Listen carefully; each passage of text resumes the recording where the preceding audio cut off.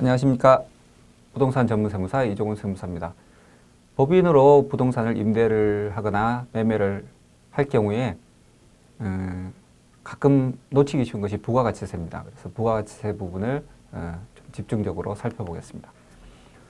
우선 부동산을 그 매입을 해서 어, 양도를 할 텐데요. 이 부동산을 그 임대를 할 경우와 매매를 할 경우 가 다르고요. 그 다음에 이 부동산이 어떤 부동산이냐에 따라서 좀 다른데요. 우선 상가 건물을 상가 건물을 어, 매수를 해서 어, 뭐 임대를 하다가 또는 어, 곧바로 또 어, 매매업을 위해서 매도를 할 경우에 부가가치세입니다. 에, 매도하는 경우는 비교적 간단합니다. 법인이 일반 과세자이기 때문에 항상 과세로 어, 어, 매도를 해야 되고요.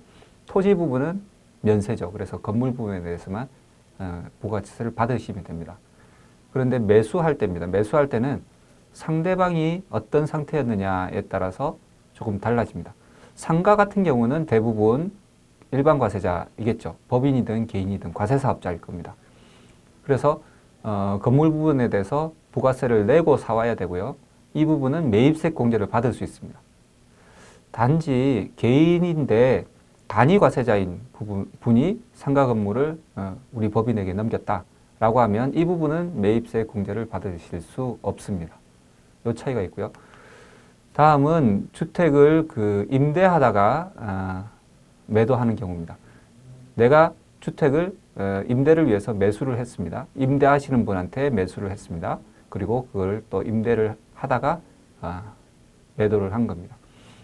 주택의 임대는 면세입니다. 주택의 임대는 면세이기 때문에 면세 사업에 사용하던 재화를 매도하는 것은 또 부가가치세가 면세가 됩니다. 그래서 내가 주택을 임대하다가 어, 면세 매도하면 건물도 면세, 토지도 면세 이렇게 되겠죠.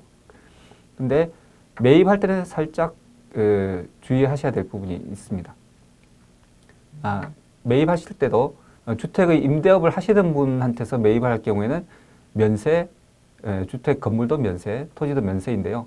만약에 이분이 에, 주택을 에, 임대하던 분이 아니고 매매업을 하시는 분이다. 그러면 이, 이 부분은 조금 생각을 해봐야 됩니다.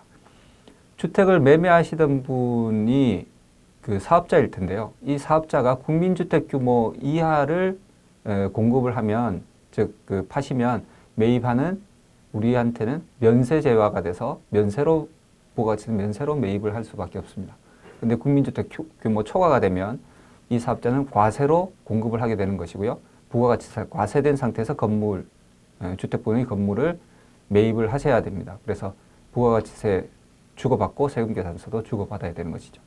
그렇게 해서 내가 부동산 이 주택을 매입을 해서 임대를 하고 있었다 그러면 괜찮겠지만 부동산 또 이걸 매매를 하기 위해서 매입을 했던 거다. 그러면 이 부분은 어, 양도를 할 때 똑같이 국민주택 규모 초과되느냐 아니냐에 따라서 부가가치세를 에, 붙이고 안 붙이고 즉 국민주택 규모가 초과가 되면 부가가치세를 붙여서 매도를 하셔야 되고요. 국민주택 규모 이하라 그러면 에, 면세로 매도를 하셔도 됩니다. 어, 이 부분을 정리를 해보면요.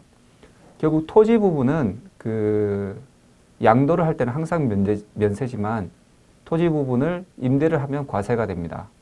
임대료에 대해서는 과세고요. 그렇지만 주택의 임대에 대해서는 주택 부수 토지도 임대가 면세가 되죠. 그리고 건물 부분을 양도를 할 때는 건물 부분은 주택 외에는 항상 과세, 그 다음에 국민주택 규모 이하는 면세, 국민주택 주택 규모 초과는 과세. 국민주택 규모 초과라 하더라도 임대업에 사용하던 국민주택이라 초과 규모라 그러면 어, 이 임대에 사용하던 재화는 면세가 되죠.